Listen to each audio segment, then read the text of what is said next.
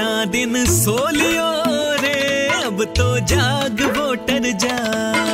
अठारह वर्ष के होने पर ही उंगली का हथियार मिला है। कौन चलाए देश तेरा? तुझको ये अधिकार मिला है।